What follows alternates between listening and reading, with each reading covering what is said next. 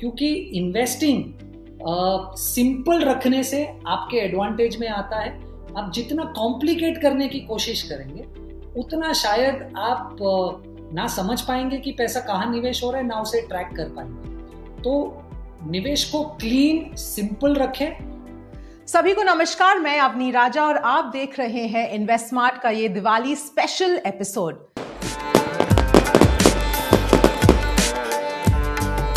हमारे साथ जुड़ रहे हैं कीर्तन शाह। कीर्तन हमारे शो पर बहुत बहुत स्वागत है। दिवाली की शुभकामनाएँ आपको। सबसे पहले मैं आपसे पूछना चाहूँगी कि दिवाली के शुभ अवसर पर बहुत लोग अपने फाइनेंशियल पोर्टफोलियो को रिव्यू करना चाहते हैं।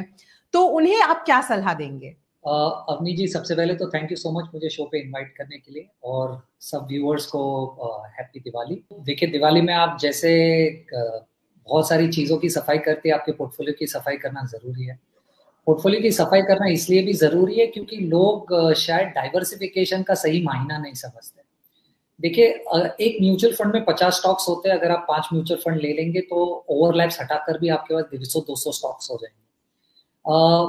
प्राइमरी रीजन हम म्यूचुअल फंड में पैसा शायद इसलिए लगाते हैं कि फंड मैनेजर उन 25 या 30 स्टॉक में पैसा लगाना चाहता है जिसपे उसे ज़्यादा कॉन्फिडेंस है मार्केट से। और अगर आपका पोर्टफोलियो डेढ़ सौ, दो सौ स्टॉक्स होल्ड करता है तो मार्केट को कैसे बीट कर पाएगा? तो सबसे पहली सलाह ये होगी कि आप ओवर डाइवर्सिफाई मत कर लीजिए। तो आपको शायद चार या पाँच म्यूचुअल फंड या दस या बारह स्टॉक से ज़्यादा की ज़रूरत नहीं है। सौ स्टॉक्स पचास म्यूचुअल फंड्स की बिल्कुल ज़रूरत नहीं है। तो अगर आपके पास बहुत सारे स्टॉक्स या फंड्स है तो सबसे पहले उसको कंसोलिडेट करना शुरू कीजिए। ओवर डाइवर्सिफिकेशन काउंटर प्रोडक्टिव हो सकता है। दूसरी चीज़ अपने एसेट एलोकेशन को मत भूलिए। अगर आप ज़्यादा रिस्क नहीं ले सकते तो ज़्यादा से ज़्यादा पैसा फिक्स्ड इनकम में रखने की कोशिश कीजिए रिस्क ले सकते हो तो भी कैलकुलेटेड रिस्क लीजिए, ऐसा ना हो कि आप ओवरबोर्ड हो जाते हो, क्योंकि मार्केट फ़िलहाल तेज़ी में दिख रहा है। और तीसरी सबसे इंपॉर्टेंट सलाह ये होगी कि आप ऐसी कुछ भी चीज़ में निवेश ना करें जो आपको आपको नहीं समझती। तो अगर मुझे ऐसा लग रहा है कि ये तीन चीज़ों का अगर आप ध्यान रखेंगे तो 80 नब्बे परसेंट आपकी प्रॉब्लम ऐसे ही सॉल्व हो जाएगी। जी जी। तो आपके लिए दिवाली से सबसे बड़ी सीख क्या है? क्योंकि दिवाली के त्योहार से हमें काफ़ी कुछ सीखने को मिलता है, जो हम अपने फाइनेंसेस को भी अप्लाई कर सकते हैं। देखिए, मुझे ऐसा लग रहा है कि आप अगर दिवाली की बात करें तो क्लीनिंग जैसे मैंने इस लास्ट वाले क्वेश्चन में भी कहा, एक बहुत ही इंपॉर्टेंट हिस्सा है दिवाली को सेलिब्रेट करने का। तो जब आप अपने फाइनेंसिस की बात भी बात करते हैं तो फाइनेंस मैनेज करते वक्त ये याद रखिए कि आपको बहुत सारा कचरा सॉरी फॉर माई लैंग्वेज पर ये बहुत ज़रूरी है क्या ना कि बहुत सारा कचरा आपको इकट्ठा करने की ज़रूरत नहीं है। आपको शायद एक टर्म इंश्योरेंस चाहिए आपको एक फ्लोटर मेडिक्लेम चाहिए आपके घर के लिए आपको तीन या चार म्यूचुअल फंड्स में निवेश करना है दस बारह स्टॉक्स लेने हैं इससे ज़्यादा आपको कहीं पर भी और जाने की ज़रूरत नहीं है, क्योंकि सिर्फ़ इतनी चीज़ करने से आप शायद अच्छे से अच्छे इन्वेस्टर जो जो जिन्हें बहुत कुछ समझता है, उससे भी ज़्यादा अच्छा आप शायद निवेश में कर पाएँगे। क्योंकि इन्वेस्टिंग सिंपल रखने से आपके एडवांटेज में आता है। आप जितना कॉम्प्लिकेट करने की कोशिश करेंगे, उतना शायद आप ना समझ पाएँगे कि पैसा कहाँ निवेश हो रहा है ना उसे ट्रैक कर पाएँगे। तो निवेश को क्लीन सिंपल रखें बहुत कम से कम चीज़ें कीजिए और जो समझती है उतनी ही कीजिए। अगर आप इतना सा भी कर पाए तो शायद आपकी फाइनेंशियल डिसिप्लिन बहुत ही बहुत ही सही मायनों में जैसे आपकी होनी चाहिए वैसी होगी। जी, बिल्कुल।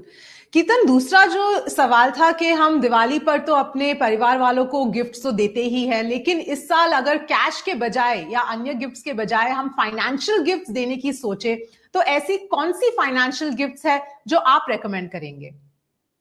सोमनी जी, आज तो आप बहुत सारी चीज़ें या तो गिफ्ट कर सकते हैं या किसी और इन्वेस्टर के बिहाफ पर इन्वेस्ट भी कर सकते हैं। जैसे आप स्टॉक्स गिफ्ट कर सकते हैं। आप किसी और के लिए म्यूचुअल फंड यूनिट्स में निवेश कर सकते हैं। अगर आपको दिवाली के अवसर पर सोना देना है तो आप किसी को सॉवरन गोल्ड बॉन्ड्स भी दे सकते हैं। मुझे ऐसा लग रहा है ये दो तीन चीज़ें अगर आप करें तो आप जिसे गिफ्ट दे रहे, ना सिर्फ़ उन्हें आज प्लीज़ कर पा रहे, पर अगर वो अगर आपका निवेश संभाल कर रखे होल्ड करे तो कंपाउंडिंग की वजह से उन्हें फ्यूचर में वो काफ़ी ज़्यादा हेल्पफुल हो सकता है। तो मुझे ऐसा लग रहा है ये बहुत ही अच्छा पॉइंट आपने रेस किया है। कैश देने की जगह पे फाइनेंशियल इंस्ट्रूमेंट्स गिव कीजिए। उनके लिए भी बहुत अच्छा होगा। जी, आपने काफ़ी सारा एडवाइस दिया है अब तक कि क्या करना चाहिए, क्या नहीं करना चाहिए। लेकिन इसके अलावा अगर आप अब हमारे व्यूअर्स को और कुछ सलाह देना चाहिए कि इस मौके पर क्या ध्यान में रखना चाहिए तो आप क्या कहेंगे? अमित जी, तीन चार चीज़ें। सबसे पहले तो एक टर्म इंश्योरेंस होना चाहिए, एक मेडिक्लेम होना चाहिए, उसके बगैर इन्वेस्टिंग मत कीजिए। दूसरा पास रिटर्न्स को देखकर इन्वेस्ट मत कीजिए। तीसरा, ऐसी कोई भी चीज़ में इन्वेस्ट मत कीजिए, जिसकी जानकारी आपको ना हो या आपको ना समझता हो। चौथा मार्केट को टाइम करने की कोशिश मत कीजिए कि आज बेच देता हूँ, नीचे गिरेगा, तब खरीद लूँगा। दिग्गज से दिग्गज लोग मार्केट में ये नहीं कर पाते। और पांचवा सबसे इंपॉर्टेंट मुझे ऐसा लग रहा है एज अ रिटेल इन्वेस्टर आपके हाथ में सिर्फ़ दो चीज़ें हैं। ज़्यादा से ज़्यादा पैसा निवेश कीजिए और जितने समय के लिए रख सकते हो, उतने समय के लिए निवेश करे रखें। अगर ये दो ही चीज़ आपके हाथ में एज अ रिटेल इन्वेस्टर तो उसे कैपिटलाइज करने की कोशिश कीजिए। उसी से आप, उसी से आप फाइनेंशियल डिसिप्लिन और फाइनेंशियल इंडिपेंडेंस तक जल्दी पहुँच पाएँगे। बिल्कुल कीर्तन यहीं पर शो समाप्त करते हैं। आप आपसे बात करके बहुत अच्छा लगा। Happy Diwali to you.